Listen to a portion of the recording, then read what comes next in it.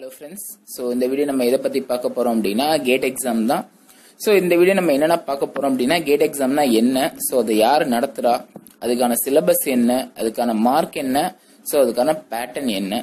So இந்த video ஃபுல்லாக நம்ம இதை பற்றி தான் பார்க்க போகிறோம் ஸோ வீடியோ ஸ்கிப் பண்ணாமல் ஃபுல்லாக பாருங்கள் ஸோ கேட் எக்ஸாம்னா என்னங்கிறது உங்களுக்கு நல்ல கிளாரிட்டி கிடைக்கும். ஓகே ஃப்ரெண்ட்ஸ் வீடியோக்குள்ளே போகலாம் ஸோ ஃபர்ஸ்ட் நான் என்ன சொல்கிறேன் அப்படின்னா கேட்டு கேட் அப்படின்னா என்ன? ஸோ இது எதுக்கான ஒரு எக்ஸாம் அப்படின்னு பார்த்தீங்கன்னா இன்ஜினியரிங் ஸ்டூடெண்ட்ஸ்க்கான ஒரு எக்ஸாம் ஸோ இந்த கேட் அப்படின்னா graduate aptitude test in engineering so engineering முடிச்ச கிராஜுவேட்ஸ்க்கு நடத்துகிற ஒரு டெஸ்ட் ஸோ இது எப்படி வந்துச்சு இந்த எக்ஸாம் அப்படின்னு பார்த்தீங்கன்னா ஸ்டார்டிங் ஸ்டேஜில் ஒவ்வொரு கம்பெனியும் அவங்களுக்கு தகுந்த மாதிரி எக்ஸாம்ஸ் வச்சாங்க. ஃபர்ஸ்ட் ரிட்டன் எக்ஸாம்னு வைப்பாங்க. அதுக்கப்புறம் டெக்னிக்கல் இன்டர்வியூன்னு வைப்பாங்க. அப்புறம் பர்சனல் இன்டர்வியூன்னு வைப்பாங்க. ஸோ இது மூணுல செலக்ட் ஆகிற ஒரு இன்ஜினியரை தான் அவங்க கம்பெனிக்கு வேலைக்கு எடுத்துப்பாங்க. ஸோ பிரைவேட்டும் சரி கவர்மெண்ட்டும் சரி. அதுக்கப்புறம் கவர்மெண்ட் என்ன பண்ணாங்க அப்படின்னா எல்லா கவர்மெண்ட் கம்பெனிஸ்க்கும் தனித்தனியாக எக்ஸாம் வைக்கிறது போல ஒரே எக்ஸாம் வைக்கணும்னு பிளான் பண்ணாங்க. ஸோ அந்த பிளான் மூலமா வந்தது தான் இந்த கேட் இதை யார் நடத்துறான்னு பாத்தீங்கன்னா IIT campus so IIT campus அப்படின்னா நிறைய பேர் தெரிஞ்சிருக்கும். ஸோ தெரியாதவங்களுக்காக சொல்றேன். ஐஐடி அப்படின்னா Indian institution of technology so இவங்க ஒரு பதினோரு இன்ஸ்டிடியூஷன்ஸ் இருக்காங்க. ஓகேவா ஸோ இந்தியாவோட டாப் மோஸ்ட் யூனிவர்சிட்டிஸ்னா கண்டிப்பாக ஐஐடி தான். யார் கேட்டாலும் சொல்லுவாங்க உங்களுக்கு. அதுக்கப்புறம் தான் அதர் யூனிவர்சிட்டிஸ்லாம் ஸோ இதில் ஒவ்வொரு வருஷமும் ஒவ்வொருத்தவங்க கொஸ்டின் செட் பண்ணுவாங்க. ஃபார் எக்ஸாம்பிள் போன டைம் ஐஐடி மெட்ராஸ் செட் பண்ணாங்க. ஸோ அந்த டைம் யாருன்னா ஐஐடி டெல்லி செட் பண்ணுறாங்க ஸோ அதுக்கான அஃபிஷியல் நியூஸும் வந்துருச்சு. இந்த டைம் யார் செட் பண்ணுறான்னு பார்த்தீங்கன்னா ஐஐடி டெல்லி ஓகே ஃப்ரெண்ட்ஸ் இப்போ நம்ம நெக்ஸ்டா பார்க்க போகிறது என்ன அப்படின்னா கேட்டோட சிலபஸ் ஸோ சிலபஸ் அவங்க மூணு பார்ட்டாக கொடுத்துருக்காங்க.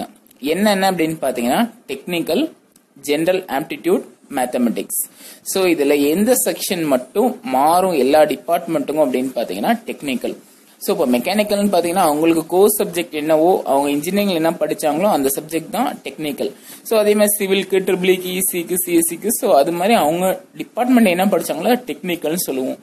மற்றபடி இந்த ஜென்ரல் ஆப்டிடியூடும் மேத்தமெட்டிக்ஸும் எல்லா டிபார்ட்மெண்ட்டும் காமனாக இருக்கும். ஸோ இதுதான் உங்களுக்கான சிலபஸ் ஸோ இண்டிவிஜுவலாக உங்களுக்கான மெக்கானிக்கல் ட்ரிபிளி ஸோ அவங்க எல்லாருக்கான சிலபஸ் நான் உங்களுக்கு பிடிஎஃப் லிங்காக டிஸ்கிரிப்ஷனில் தரேன். டவுன்லோட் பண்ணி பாருங்க. ஃபர்ஸ்ட் சிலபஸ்னா என்னன்னு பாருங்க. ஸோ அதில் என்ன கொடுத்துருக்காங்க அப்படின்னா கண்டிப்பாக நீங்கள் இன்ஜினியரிங்கில் படிச்ச டேர்ம் தான் கொடுத்துருப்பாங்க. ஓகேவா ஸோ டிஸ்கிரிப்ஷன் லிங்க் தரேன். மறந்துடாம டவுன்லோட் ஸோ இப்போ நம்ம மூணாவதாக என்ன பார்க்க போறோம் அப்படின்னா கேட் எக்ஸாம் கேட்கக்கூடிய கொஸ்டின் ஸோ அது என்ன டைப்பா கேட்கறாங்க அப்படின்னு தான் பார்க்க போறோம். ஸோ கொஸ்டினை பொறுத்த அளவுக்கு ரெண்டு டைப்பா கேட்பாங்க ஃப்ரெண்ட்ஸ் ஒன்னு வந்து எம்சிக்யூன்னு சொல்லுவோம். அதாவது மல்டி சாய்ஸ் கொஸ்டின் சொல்லுவோம். ரெண்டாவது நியூமேரிக்கல்னு சொல்லுவோம். ஸோ மல்டி சாய்ஸ் கொஸ்டின் தான் நம்ம எல்லாருக்கும் தெரிஞ்சது தான் ஸோ ஒரு கொஸ்டின் கொடுத்து கீழே நாலு ஆன்சர்ஸ் இருக்கும். அதில் எது ரைட்டோ நம்ம டிக் பண்ற மாதிரி இருக்கும். ஸோ எல்லாருக்கும் தெரிஞ்சது. ரெண்டாவது டைப் என்ன அப்படின்னா நியூமேரிக்கல் விச் மீன்ஸ் ஒரு சம்மா கொடுத்துருவாங்க. அதுக்கான சொல்யூஷன் நியூமேரிக்கல் நம்பரா நீங்க ஆன்சர் கொடுக்கணும். ஸோ இது ரெண்டும் தான் கொஸ்டினோட டைப் இன்னொன்று மார்க் ஸோ ரெண்டு மார்க்ஸாக கேட்பாங்க. எப்படின்னா ஒன் மார்க் கொஸ்டினாவும் கேட்பாங்க டூ மார்க் கொஸ்டின்ஸாவும் கேட்பாங்க. இதுல ரொம்ப முக்கியமான ஒன்று என்ன அப்படின்னா நெகட்டிவ் மார்க் கண்டிப்பா இருக்கு ஃப்ரெண்ட்ஸ் இப்போ ஒரு மார்க் கொஸ்டின் கேட்டாங்கன்னா அதாவது மல்டி சாய்ஸ்ல ஃபர்ஸ்ட் ஓகேவா அதாவது எம்சிக்யூ மல்டி சாய்ஸ் சாய்ஸ் கொடுக்குறாங்க பாரு. அந்த கொஸ்டின்ல ஒன் மார்க் கொஸ்டினா கேட்டாங்கன்னா one point three three minus ஆகும். ஒரு கொஸ்டின் நீங்க தப்பா எழுதுனா. அது என்ன கால்குலேஷன் அப்படின்னா ஒரு கொஸ்டின்ல மூணுல ஒரு மடங்கு மைனஸ் அப்படி பாத்தீங்கன்னா zero point three three minus நீங்க ஆல்ரெடி கொஸ்டின் தப்பா எழுதுறதுக்கு ஒரு மார்க் போகும். டோட்டலா one point three three minus ஆகும். ஒன் மார்க் கொஸ்டினுக்கு இதுவே நீங்க டூ மார்க் கொஸ்டின் தப்பு பண்ணீங்கன்னா ஒன் பாயிண்ட் சிக்ஸ் சிக்ஸ் உங்களுக்கு நெகட்டிவா மார்க் போகும். அதே நேரத்துல நியூமேரிக்கல் டைப் கொஸ்டின் நீங்க எடுத்தீங்கன்னா அதுல நெகட்டிவ் மார்க் கிடையாது. ஸோ மேக்ஸிமம் நீங்க கேட் எக்ஸாம் எழுதுறப்போ நியூமேரிக்கல்ல இருக்கிற எல்லாத்துக்குமே ஆன்சர்ஸ் எழுதி வைங்க. ஓகேவா மேபி அப்ராக்சிமேட்டிவா ஓரளவுக்கு வந்துருச்சுன்னா மார்க் வரும். இல்லைனாலும் உங்க நெகட்டிவ் போகாது. அதே நேரத்தில் மல்டி சாய்ஸ் கொஸ்டின்ல நீங்க கண்ணாமலாம் டிக் பண்ணீங்கன்னா உங்க எண்டு மார்க் ஜீரோவா தான் வரும். ஐ மீன் படிக்காம எழுதுனீங்கன்னா சொல்றேன். ஸோ இதை நல்லா புரிஞ்சுக்கோங்க. நெகட்டிவ் மார்க் இருக்கு. ஓகே ஃப்ரெண்ட்ஸ் இப்போ நம்ம நாலாவதா பார்க்க போறது கேட் எக்ஸாமோட பேட்டர்ன் ஸோ இந்த இமேஜ் பார்த்தா உங்களுக்கு கிளியரா தெரியும். இருந்தாலும் நான் ஒன் டைம் சொல்லிடுறேன். என்ன அப்படின்னா மொத்தம் நான் ஏற்கனவே சொன்ன மாதிரி மூணு டைப் சிலபஸ்ன்னு சொன்னேன். ஃபர்ஸ்ட் வந்து ஜென்ரல் ஆப்டிடியூட் இந்த ஜென்ரல் ஆப்டிடியூட்ல இருந்து பத்து கொஸ்டின் கேட்பாங்க ஃப்ரெண்ட்ஸ் ஸோ நல்லா ஞாபகம் வச்சுக்கோங்க. அடுத்தது மேத்தமெட்டிக்ஸ் பிளஸ் டெக்னிக்கல் ஓகேவா இது ரெண்டையும் சேர்த்து ஐம்பத்தஞ்சு கொஸ்டின் கேட்பாங்க. ஸோ அப்ப கேட்டுக்கான டோட்டல் கொஸ்டினே அறுபத்தஞ்சு கொஸ்டின் தான். நூறு மார்க் இது எப்படின்னா இந்த ஒன் மார்க் டூ மார்க் சொன்ன பாருங்க. ஸோ அது மூலமா உங்களுக்கு நூறு மார்க் வந்துடும் ஓகேவா நல்லா புரிஞ்சுக்கோங்க. மொத்தம் அறுபத்தஞ்சு கொஸ்டின் நூறு மார்க் இதுக்கான டைம் எவ்வளவு நேரம்னு பாத்தீங்கன்னா மூணு மணி நேரம்.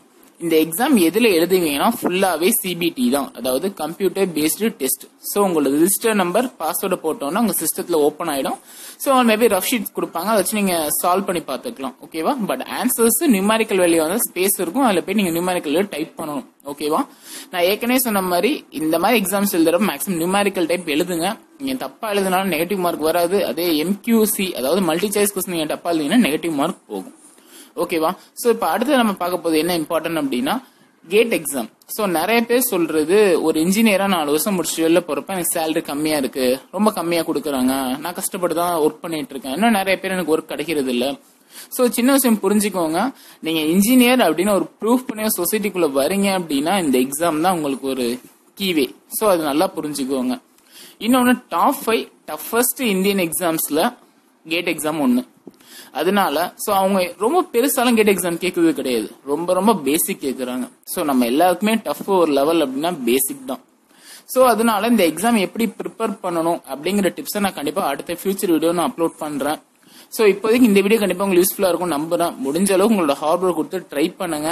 ஓகேவா ஃப்ரெண்ட்ஸ் இதுல இன்னும் இம்பார்ட்டன்ட் என்ன அப்படின்னா இந்த எக்ஸாம் இந்த கேட் எக்ஸாம் முடிச்சு நீங்க போறப்ப பிஎஸ்யூ அப்படின்னு சொல்லுவோம். அதாவது பப்ளிக் செக்டர் கார்பரேஷன்ஸ் ஸோ அதாவது பெல்லு டிஆர்டிஓ செயலு ஸோ இந்த மாதிரி எல்லா சென்ட்ரல் கவர்மெண்ட் ஓகேவா கம்பெனிஸ்லையும் நீங்கள் டைரக்டா இன்டர்வியூ மட்டும் அட்டன் பண்ணிட்டு நீங்கள் ஜாப் போயிடலாம். ஓகேவா டைரக்ட் ரெக்ரூட்மெண்ட்டுக்கு இந்த கேட்டோட ஸ்கோர் எடுத்துக்கிறாங்க.